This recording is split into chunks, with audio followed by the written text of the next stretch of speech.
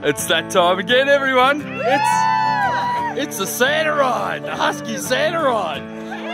Happy Christmas, everyone. Woo! Let's get on it. I'm the daddy. These guys are, yeah, a bit younger, but I feel like them tonight. Let's have fun, guys.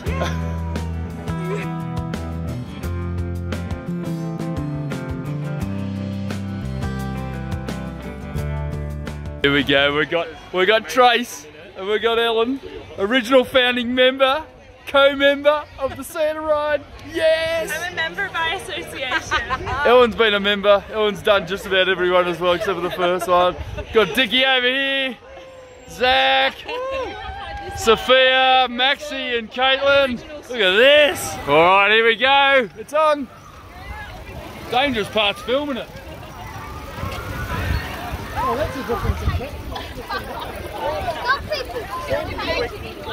Holy dooly, there's actually quite a lot of people here tonight. Oh, shit. Check this out. Yes. Happy Christmas, Trace. So this event raises about uh, five or six thousand bucks for our bushfire brigades because our government doesn't give it to us. But uh, yeah, here we go. There's like 500, I think, today riding to the Husky pub for a beer. So the pub's going to be pretty busy in a minute. But uh, that money gets raised and gives to our bushfire brigade, and uh, everyone gets to have a beer and a sausage. I'm gonna I'm gonna uh, introduce you here to Mr. Abel Walsh. Hey, Hello, hey. buddy. Hey, Rossi, how are you? Good, mate. I'm good. Uh, well done for putting the Santa ride together again, buddy. Oh, we got it on again. Only Well just this time. I know. Bloody insurance, eh? What a load of bullshit. But well done, mate. And I think we got 450 tickets sold. so- 450 people at 15 bucks a head. There's a bit of money for the fireys, eh? Yeah, I reckon there's 550 people riding. Yeah, yeah. A lot of people come for the free, and then they, I don't know whether they're going to get a free beer though, eh? Nah, it's all good. Whatever. All right, all mate. good cause, all a bit of fun. All great, mate. How many years So, is this for you? this is my 14th straight year, mate, without a miss. Well, officially it's only been on 13 years, so. So this is the 14th one. Yeah, Yeah, yeah. 13 years, Yeah. 14 Santa rides. I've counted every one of them, and uh, yes, Nice work. I could be a drunk ride home tonight, I reckon, mate. Safe way as always. Good on you, mate. I'm going to head off. This is the peloton. I'm gone. See you, Abe. Thanks, mate. So I'm back with my team, my young team, just for a little while until I go flitter around and chat with other people. He's just so social. Oh, I love that. Let's see.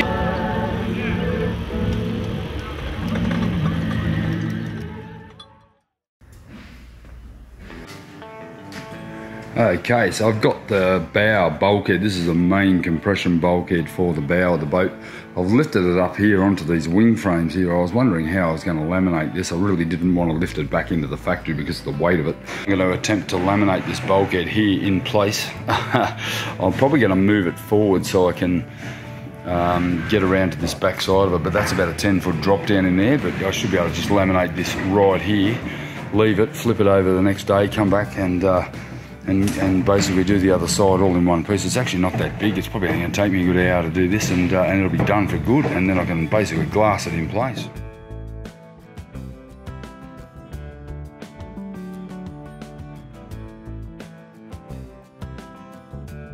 Remembering we had a scarf that Ed and Deb helped me do back in January, and uh, those scarfs were epoxied together.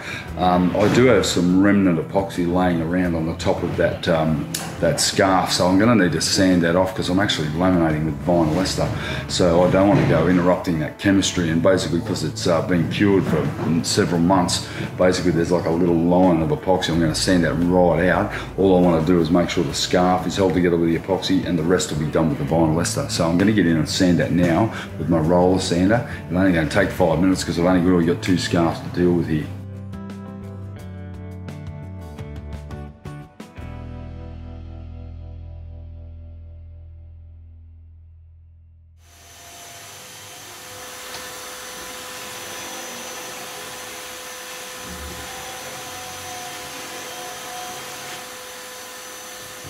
So I've just had a massive clean up here. I've vacuumed it. I've basically sanded all the edges of this uh, plywood to make sure that that end grain is going to get enough resin in it. Now there is going to be a bit dripping down onto the floor here.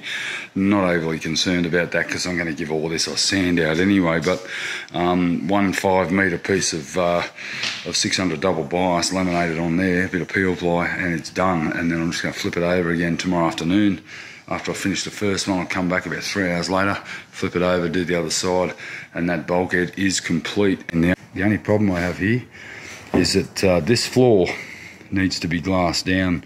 So I'm at a commitment point now. I need to basically commit to put this floor down to be able to get this bulkhead in. Once that's in, I can then start to tab along all these wing frames because I know they're in the right position and then move uh, very quickly forward. Uh, we've just hit 28 degrees in here, so it's sort of touch and go as to whether I should get ahead with it because the catalysing is going to happen really quickly here, so I'm going to slow it right down to about one to one and a half percent. I'm not going to uh, jack up the catalyst at all like I've done with the other modules up in the factory where it's a bit cooler, but in this inside the tent here, we're starting to get some summer heat brewing. There is a cold change due, but it's not going to be that cold. Uh, basically one layer of 600 all over it and then peel ply and this part's done and, uh, and ready to install. So pretty happy to get to this stage. It's taken a long time to get this stage and I'm ready to go.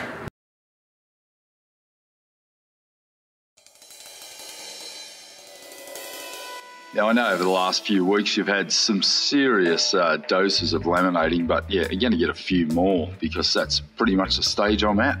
Um, after a couple of wipe downs of uh, the plywood with acetone and a rag, I was able to remove a lot of the sawdust and uh, any sort of surface dirt that might have attracted onto that uh, onto that plywood over the uh, the time it had been sitting in there. Then it was time for a coat of vinyl ester.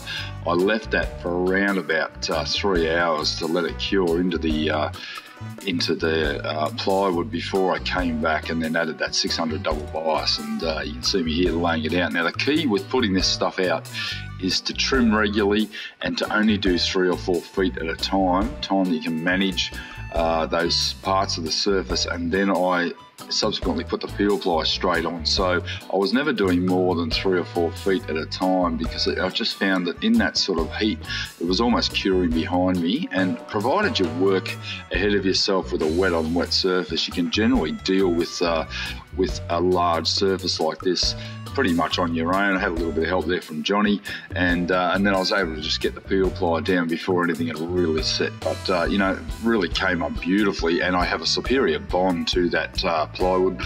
Um, after trimming uh, the next day, I actually had to come back and give it a good trim, and there's plenty of vision of all this uh, in the uh, in the coming part of the video.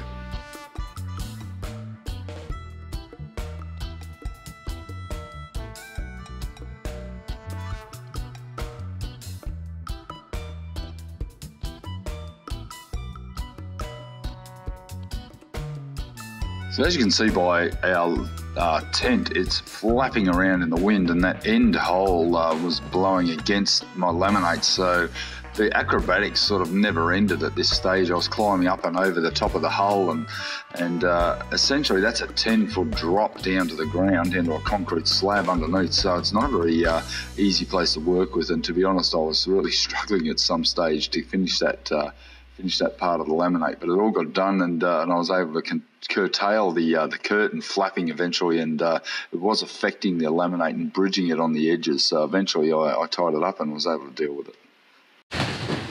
Right, we laid this up about four hours ago, and uh, Johnny's just come back and helped flip it over. Let's do it, buddy.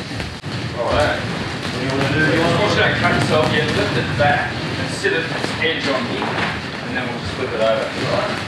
Just watch me don't take the film with it. Oh, hang on.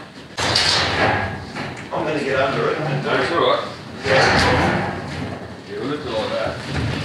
I'm just going to lift it straight up. Hang on, I got my leg in there.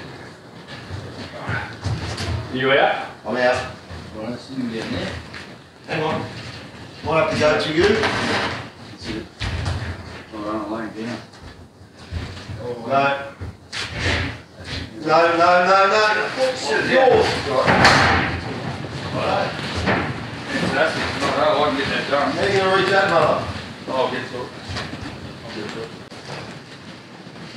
So I had a really successful morning. Um, you think you're going to come in and just do the other side once you flip it over.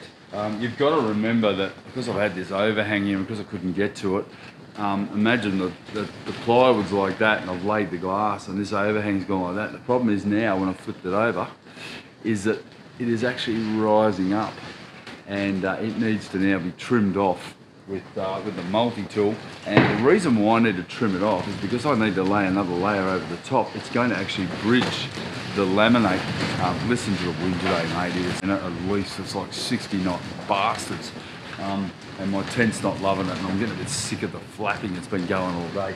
But I'm going to have to trim all of this apron off here to make sure that my next laminate actually sits down and not is curled up. So a little bit of work ahead, but uh, pretty simple. I'm going to go and cut the cloth, get the peel ply ready. In the morning, I'll finish this bulkhead, and uh, yeah, moving forward. So after a good trim, uh, I think you're getting the idea. It's uh, pretty much uh, like Groundhog Day. I'm just laminating, uh, wetting out the plywood, doing more uh, laminating and then uh, putting the peel ply on and then essentially trimming again. So uh, I think you've probably seen enough of this uh, for now. There's been a fair bit of laminating going on over the last couple of episodes and, uh, and I apologise for it, but simply that's the uh, the tedium of um, of doing a boat of this size is it tends to be a lot of one thing. When you're into one mode, you tend to continue on with it as much as possible. Right, guys, I'd like you to meet my mum. This is uh, Betty Boardman, my lovely mum's come down to visit. she hasn't been here for about a year, so she. I'm, I'm not sure that mum quite knew what she was looking at before, so she just had the full tour. But I'm just going to show mum where I'm actually finished down in here, and uh, and you guys, I don't think you've seen the completed project, but um, essentially, I'm going to lift this companionway out, show mum the fuel tanks, which you have seen.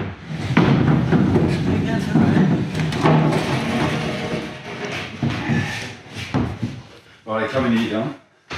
So, Mum, what's down in here? This is the companionway. Down in here.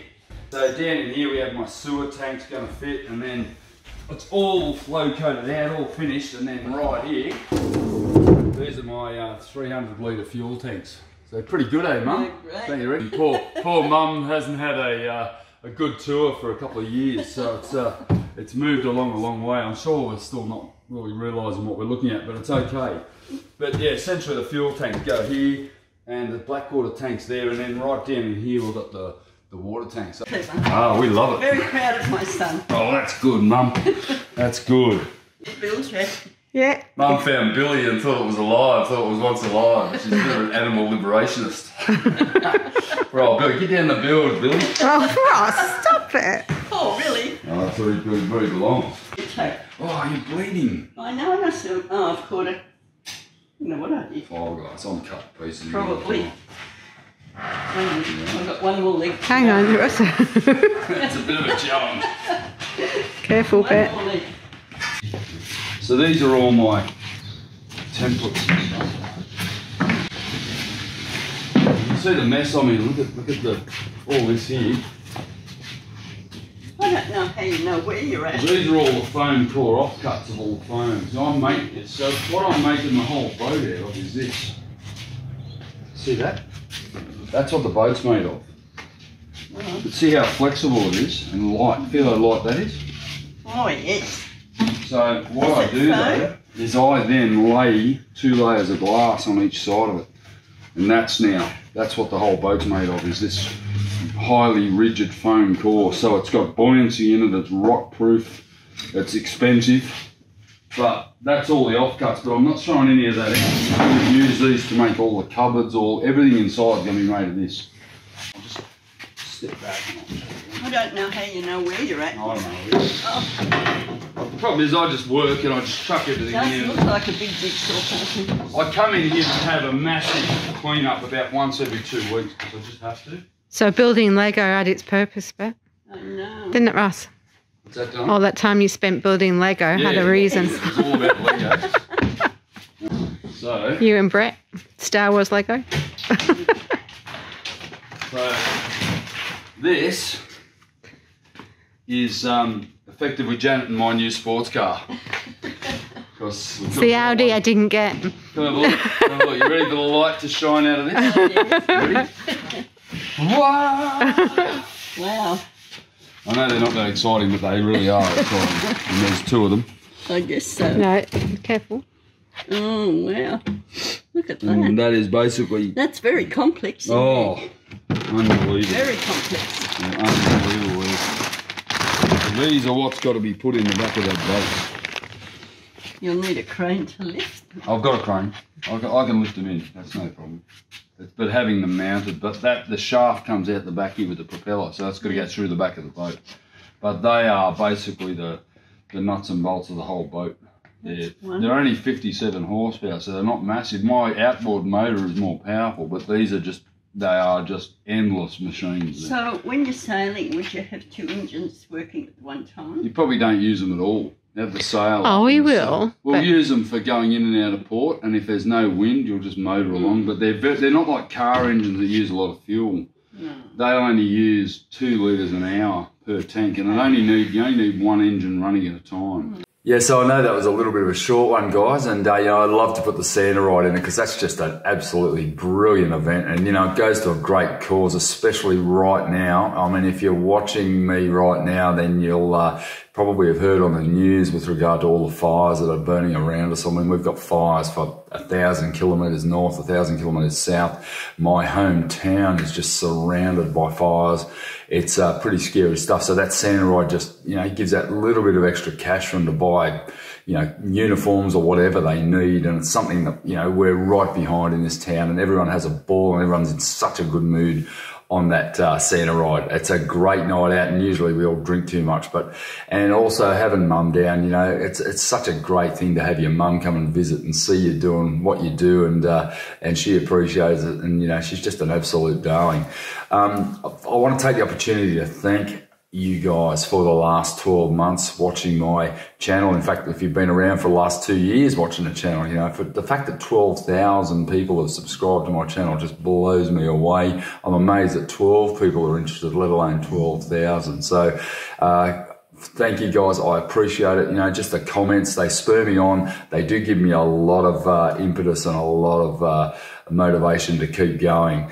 And in the background as well, I've, I've actually started a new YouTube channel and it's, it's up there live now. However, um, it's not going to be published until the 18th of February is when the first episode goes up. So I encourage you to go and have a look, but you're not going to see much unless you're in our, um, uh, unless you've joined our patron team. You know, at the end of the day, uh, these are going to go up three months after I have produced them to our Patreon site. It's just a way that I can give back to the guys that are supporting me, that are watching me and paying per video. You know, I'm incredibly grateful to everybody who watches our videos. However, if you're if you're a patron, I'm trying to put those videos out to you three months early uh, for the, I, I think for one of the tiers and then a month early for the lower tier. If anything, it's my way of giving back to, uh, to those of you that are supporting me. And, but if you want to see those videos three months early, this is the way to do it. There's two episodes up there. Essentially, that channel will delve deeply into uh, different composite technologies. It's going to go into my kayak manufacturer, and I'm passing it on in great detail as well, and uh, taking products from the mold right through to a finished and saleable, commercially available product. Is, uh, is something that I'm passionate about, and it's something that I am really happy to put out there on a video series. So the composite shop, guys, it's uh, it's up there. Um, if nothing else, subscribe to it. Uh, there's no videos uh, up open to the public right now. However, if you zip over to the Patreon channel, I'll put a link right here. You can uh, you can certainly see that it's there, and uh, and it just might spark some interest for you. It might spark some interest in making homewares or artworks or um, personal watercraft or even parts for your automobile. So at the end of the day, it's there for all to see eventually, just for the patrons right now. And uh, you know, and again, happy Christmas, guys. Have a great New Year, and I'm going to have a bit of time with the family and uh, and have a little bit of a break once I get another two or three days work done. I'm really looking forward to catching up with my entire family. We have 35 people coming for Christmas for four days to our house, so it's going to be pretty full on. There's people in tents, there's people in the garage. I might even stick a couple up on the mould, and uh, and I'm sure we're going to have a great time. And I hope you all have a very safe and happy Christmas. Thanks, guys. Catch you later. Bye.